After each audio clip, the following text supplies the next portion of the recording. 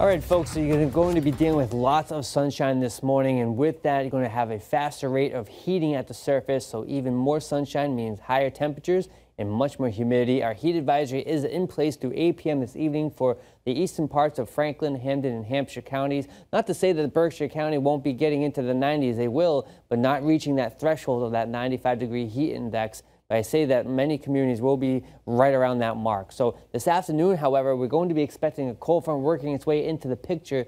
With that, bringing some convection at the surface, which means rising warm air, which will condense and develop thunderstorms, some in fact, which may be uh, a bit severe between that 4 p.m. window and the 8 p.m. window as well. So you just want to be a little bit more weather alert for today. Behind that next week, much cooler, seasonable, dry and comfortable out and about. As you're going to see, notice uh, you're going to notice as well Breezes are going to be picking up later on into the afternoon, up towards 20 to 25 miles per hour as this cold front approaches.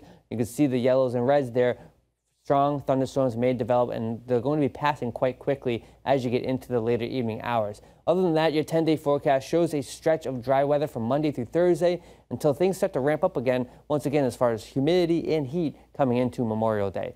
Have a good day. Stay with Western Mass News on air, online, and on our app throughout the day for breaking news, weather, and exclusive content.